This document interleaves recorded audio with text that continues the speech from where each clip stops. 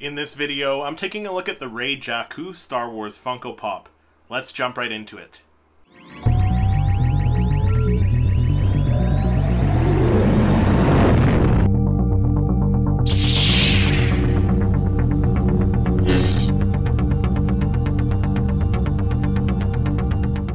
Hey everyone, my name is Christopher. Welcome to Seriously Star Wars. On this channel, I do weekly Star Wars reviews, so if you're new here, make sure you hit that subscribe button along with the notification bell so you don't miss any future videos.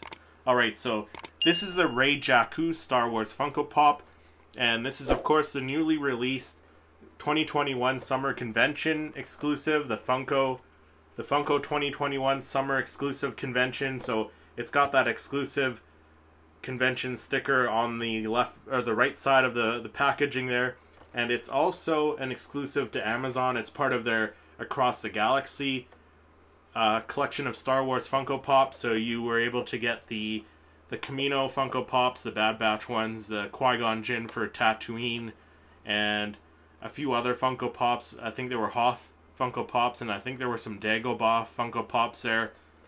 But I was really happy to, to see this one when it got announced there, and I pre-ordered it right away.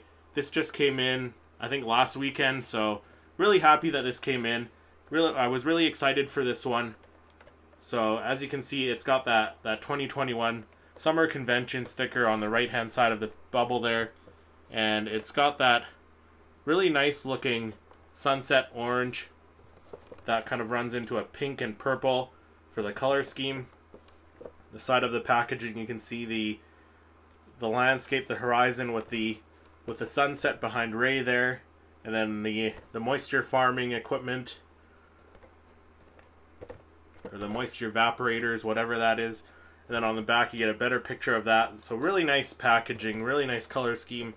And then in the distance there, uh, walking along the horizon in front of the sunset there, there's a couple of characters. I'm not sure who those are meant to be, but really nice artwork on this one. Really nice color scheme Of course, you got the typical Funko Pop branding and and uh, Star Wars logos all the way around. So you got the the Pop logo, the Star Wars logo. You got the series number. Rey Jakku is number 451 in the series, and then of course you got the name there, Rey Jakku, right in nice bold lettering. On the right side of the box, of course, more Funko Pop and Star Wars branding the name, the series number at the back there. Your usual pop branding and Star Wars branding, except you got the Star Wars logo there, right where you would usually have the the rest of the Funko Pops in the collection, but because this one is a an exclusive to Amazon and the summer exclusive, it's uh, it doesn't have the rest of the collection there. There are no other other Funko Pops in the collection with this one, so it's missing that. And then, of course, on the side of the box, got the full-size image of Rey, the Rey Funko Pop there, which displays nicely when it's in the box there. You can display them all in a row and see which Funko Pop it is. But let's take the Rey Jakku out of the packaging and we'll take a closer look.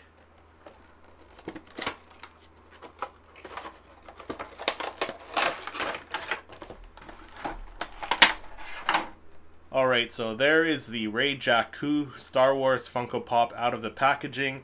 And another thing that I meant, uh, I don't know if I mentioned before, but this one, all the Funko Pops, they come with a, an insert at the back of the box there.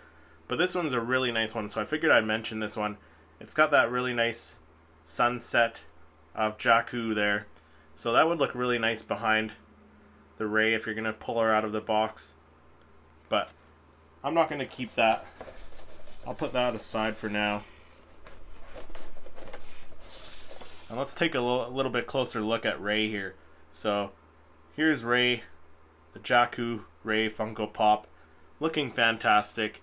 And I had mentioned before in my previous Rey Funko Pop review, I think it was the the Rey with the two lightsabers from the Rise of Skywalker. That up until this point, or up until that point, that was my favorite Rey Funko Pop, but I think this one has just bumped that one down into second place, but a very close second place. So this one is this one's by far my favorite looking Rey Funko Pop. And she's got that iconic stance where she's kind of walking and then turning around to BB-8 to look at BB-8. I'm pretty sure that's what this stance is. So, love the stance. She's got the, the staff in one hand. She's walking and turning. She's got the wind blowing her robes there and her hair. Really fantastic looking Funko Pop. The sculpt is fantastic. Lots of detail in her outfit, her robes. Even her little details in her boots there, the side of the boots, how they wrinkle up a little bit around her ankle. Like I said, the, the robes flowing in the wind there. Really nice details. Really nice paint application. There is a little bit of overpaint just on her neck, just beneath the spring there.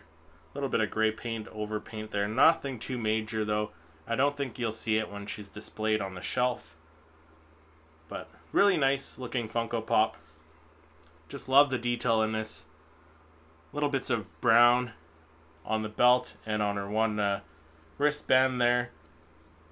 And her pants are kind of like a kind of gray or dark tan color, and then the rest of her robes are a, a lighter tan color.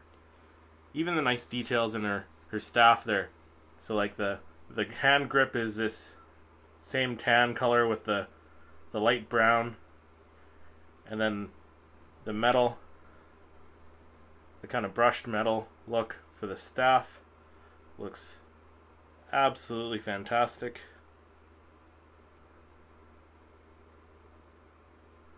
So overall, just a really nice looking Funko Pop.